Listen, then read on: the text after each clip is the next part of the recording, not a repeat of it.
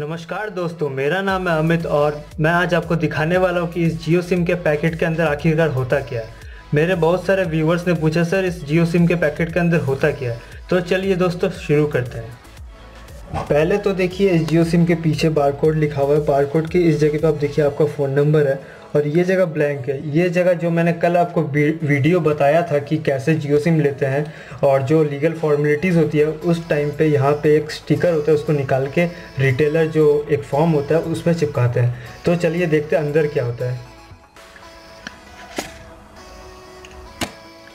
पहले तो ये एक छोटा सा जो, क्या बोले, मैनुअल होता है, उसमें मतलब आपका लिखा होता है कि ऐसे चालू करना है, क्या करना है टावर आने का बाद क्या मतलब कौन से फ़ोन नंबर पे कॉल करना है, और कितना कॉल रेट है। मैं छोटा एक बुक और जो अब दूसरा आप देखने वाले हैं यहाँ आप देख रहे हैं कि जियो स्टिकर यहाँ पे जो पाँच जियो स्टिकर वो आप कहीं भी लगा सकते हैं, ये ऐसे ही आपको दिया गया है। और जो आपका मेन थिंग है एट लास्ट सिम वो मैं आपको दिखाने जा रहा हूँ। ये देखिए, आपका जियो सिम।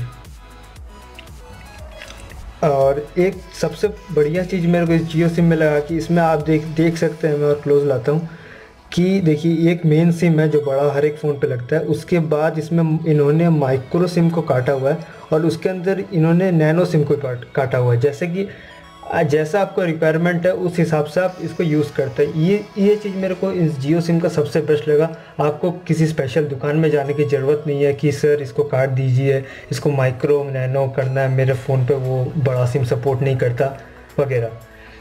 तो दोस्तों, जैसे कि आपने देखा कि ये जियो सिम के अंदर ये तीन चीज़ें होती हैं। और ये जो मैंने आपको पहले बताई, ये ये जो आपको जियो सिम लेने के बाद आपके रिटेलर इसको उस फॉर्म में चिपका देंगे जो कल मैंने आपको लीगल फॉर्मेट बताया था। तो दोस्तों, आज के लिए बस इतना ही। ये एक मेरे व्यूवर्स का क्वेश्चन था कि जियो सिम के अंदर होता क्या। तो आज के लिए दोस्तों, इतना ही, और मेरे आप चैनल को सब्सक्राइब ज़रूर करना। So guys thank you